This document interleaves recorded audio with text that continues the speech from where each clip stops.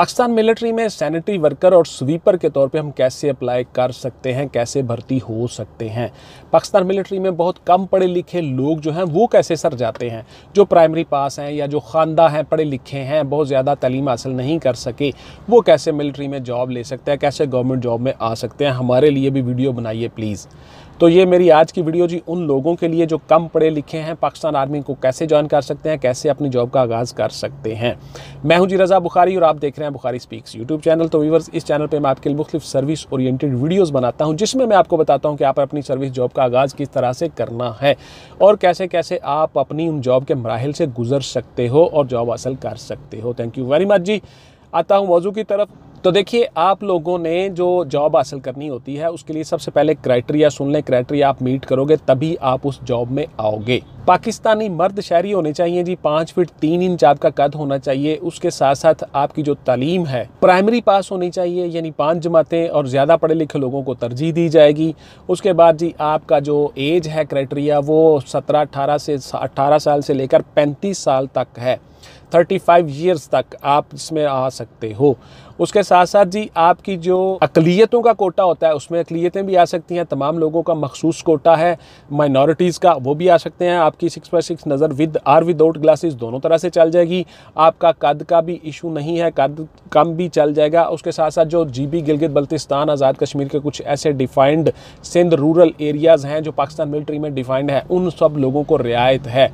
उनकी तालीम में भी रियायत होती है, कद में भी रियायत होती है, एज में भी रियायत होती है और वो सारी चीज़ें कर सकते हैं। अब मैं आता हूँ जी इसकी तरफ़ कि आपने अप्लाई कैसे करना है। तो देखिए, आपने जो अप्लाई करना है, अपने तमाम डॉक्यूमेंट्स असनाद, तलीमी असनाद, हर चीज़ ले के आपने ऑनलाइन भी अप्लाई कर देना है। पाकिस्तान मिलिट्री की वेबसाइट पर जाके W W W dot Pak army dot G O V dot P K इस वेबसाइट पर जाके आप अप्लाई कर सकते हो। उसके अलावा हर शहर में पाकिस्तान मिलिट्री के रिक्रूटमेंट एंड सिलेक्शन सेंटर्स होते हैं। आप वहाँ जाके भी अप्लाई कर सकते हो। आपने अपनी तमाम डॉक्यूमेंट्स के दो दो कॉपियाँ करवा लेनी हैं, दो सेट बनवा लेने हैं, उनको अटेस्ट करवा लेना है किसी गजटेड ऑफिसर से। उनको अटेस्ट करवा के आप वहाँ पर जाके अप्लाई कर सकते हो। और अपना डोमिसाइल सी एन आई सी वाला साहब का सी एन आई सी चार अदद पासपोर्ट साइज़ तस्वीर और असल असनाद, असल डिग्रियाँ, ये सारा कुछ साथ ले जाना मत भूलिए। क्योंकि वो सारी की सारी चीज़ें आपकी जमा हो जाएँगी, आपकी रख ली जाएँगी। अगर आप रिजेक्ट हो जाते हो तो उसके पीछे स्टैंप लगा के आपको दी जाती है। अगर आप सिलेक्ट हो जाते हो तो देन फिर आपको तमाम डॉक्यूमेंट्स आपकी तनख्वाह पे होने, शुरू होने तक आपकी, उनके पास ही रहती हैं, उनकी बाद में तस्दीक होती है डॉक्यूमेंट्स की। तो इसलिए वो साथ लेकर आपके लिए जाना बहुत ज़रूरी है। जिन लोगों का शनाख्ती कार्ड नहीं बना हुआ, वो बे फॉर्म पर भी अप्लाई कर सकते हैं, गौर से सुन लीजिए।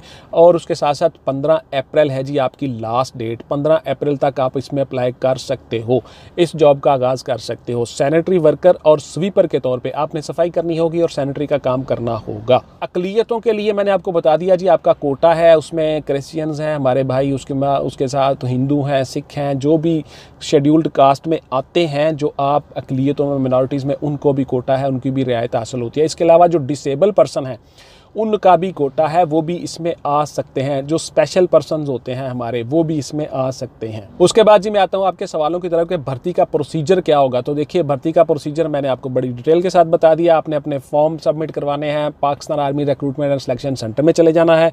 वहाँ पर जाके अपने तमाम डॉक्यूमेंट्स आपने जमा करवा देने हैं, उसके साथ साथ आप ऑनलाइन भी जमा करवा सकते हो और आप अपनी जॉब का आगाज़ कर लेते हो। क्या हम मज़ीद तालीम जारी रख सकते हैं? बिल्कुल जी, आप मज़ीद तालीम जारी रख सकते हो। इसमें कोई ऐसी रिस्ट्रिक्शन पाबंदी नहीं है। आप अपने तौर पे ही पढ़ोगे, आप रेगुलर क्लासेस में नहीं पढ़ सकते बिकॉज़ आप पाकिस्तान मिलिट्री के पर्सनैल्स होते हो और आपको वो चीज़ें, वो इजाज़त नहीं है काम करने की और आप उसमें आ सकते हो। मज़ीद तालीम अपने तौर पर ही जारी रख सकते हो। क्या हम भर्ती हो के तो कमीशन में भी आ सकते हैं? कमीशन ऑफिसर बन सकते हैं? बिल्कुल जी आप बन सकते हैं। अगर आप उसमें एज क्राइटेरिया में पूरे आ रहे हो, आप अपना कद, शाद, छाती, तालीम वो सारे क्राइटेरिया को मीट कर रहे हो आप आ सकते हो जी, कोई ऐसी बात नहीं है। आपको पाबंदी नहीं होती, बल्कि आपको रियायत हासिल हो जाती है। एज में भी रियायत हासिल हो जाती है, आपको नंबरों में भी रियायत हासिल हो जाती है। एज आपकी जो है, वो 25 साल तक हो जाती है और आपकी जो तालीम है, वो 50 परसेंट तक मार्क्स आप अप्लाई कर सकते हो। वैसे 60 परसेंट मार्क्स हैं आईएसएसपी के लिए, लेकिन आप उसमें 50 परसेंट वाले भी लोग अप्लाई कर सकते हो। क्या ये लोग यूनिफॉर्म पहनते हैं? बिल्कुल जी, यूनिफॉर्म पहनते हैं। पाकिस्तान मिलिट्री का हिस्सा होते हैं, यूनिफॉर्म पहनते हैं और बवक्त ज़रूरत इनसे हर किस्म की ड्यूटी भी ली जा सकती है। यूनिफॉर्म पहनते हैं जी? इनकी तनख्वाह कितनी होती है? देखिए, तनख्वाह इनकी जो है वो पच्चीस से पैंतीस हज़ार के दरमियान में कहीं एडजस्ट हो जाती है। उनके साथ साथ ये तनख्वाह वो होती है जो उन्होंने घर लेके जानी होती है। बाकी इनकी हर चीज़ फ्री होती है। इनको क्या क्या सहूलियात हासिल होती हैं वो सारी डिटेल के साथ मैं आपको अभी बताता हूँ। तो देखिए, गौर से सुन लीजिए, इनका मेडिकल फ्री होता है, इनकी फैमिली का मेडिकल फ्री होता है, इनकी तालीम फ्री होती है बच्चों की। उसके साथ साथ जी इनको रिहाइश मिलती है, उनको खाना मिलता है, उनको हर चीज़ मिलती है, फैसिलिटीज़ मिलती हैं। पाकिस्तान आर्मी के जितने रहायशी स्कीमें होती हैं, उन कॉलोनियों में वो उनके मेंबर भी होते हैं और वहाँ पे उनको कोई ना कोई प्लाट मिल जाता है, जिससे तनख्वाह में से बहुत थोड़े थोड़े पैसे काट के उनका वो प्लाट बन जाता है और घर का मसला भी हल हो जाता है। इसलिए ये जॉब आप लोगों के लिए बहुत अच्छी होती है, जो ज़रा कम पढ़े लिखे हैं और जो पाकिस्तान आर्मी में गवर्नमेंट में जॉब करना चाह रहे होते हैं। जो लोग अप्लाई नहीं कर सकते, वो मैं डिटेल के साथ आपको बेशुमार वीडियो में बता चुका हूँ कि जी आप लोग जो है, आपके खिलाफ कोई क्रिमिनल केस रजिस्टर्ड ना हो आप आईएसएस में दो दफ़ा स्क्रीन आउट हो चुके हों। आपका किसी अदालत से इश्तहारी या पी ओज़ प्रोक्लेम्ड ऑफेंडर आप डिक्लेयर ना हुए हों। आप किसी अखलाकी जुर्म में ना हो। 120 दिन या चार महीने के अंदर अंदर आप मिलिट्री की किसी भी ब्रांच से Pakistan air force Pakistan navy Pakistan military किसी भी ब्रांच से आप निकाले गए हो। चाहे कोई डिसिप्लिन रिएक्शन हो आपके खिलाफ या कुछ भी हो, या आपने खुद छोड़ दिया हो 120 दिन के अंदर, आप नहीं जा सकते। उसके साथ साथ मेडिकली अनफिट लोग नहीं जा सकते हेपेटाइटिस ए बी सी वाले नहीं जा सकते पाइल्स वाले नहीं जा सकते, बवासीर वाले फ्लैट फिट और इस तरह से बहुत से लोग जो डिफाइंड होते हैं, बहुत सी वीडियो में बता चुका हूँ, वो इसमें अप्लाई नहीं कर सकते। बाकी आप सब लोग अप्लाई कर सकते हो। अकलीतों का कोटा होता है, उसमें अकलीतें भी आ सकती हैं, तमाम लोगों का मखसूस कोटा है माइनॉरिटीज़ का वो भी आ सकते हैं, आपकी सिक्स बाई सिक्स नज़र विद आर विदाउट ग्लासेस दोनों तरह से चल जाएगी, आपका कद का भी इशू नहीं है, कद कम भी चल जाएगा, उसके साथ साथ जो जी बी गिलगित बल्तिस्तान आज़ाद कश्मीर के कुछ ऐसे डिफाइंड सिंध रूरल एरियाज़ हैं, जो पाकिस्तान मिलिट्री में डिफाइंड है, उन सब लोगों को रियायत है। उनकी तालीम में भी रियायत होती है, कद में भी रियायत होती है, एज में भी रियायत होती है और वो सारी चीज़ें कर सकते हैं। अब मैं आता हूँ जी इसकी तरफ़ कि आपने अप्लाई कैसे करना है। तो देखिए, आपने जो अप्लाई करना है अपने तमाम डॉक्यूमेंट्स असनाद, तलीमी असनाद, हर चीज़ ले के आपने ऑनलाइन भी अप्लाई कर देना है। पाकिस्तान मिलिट्री की वेबसाइट पर जाके W W W dot join Pak army dot G O V dot P K इस वेबसाइट पर जाके आप अप्लाई कर सकते हो। उसके अलावा हर शहर में पाकिस्तान मिलिट्री के रिक्रूटमेंट एंड सिलेक्शन सेंटर्स होते हैं। आप वहाँ जाके भी अप्लाई कर सकते हो।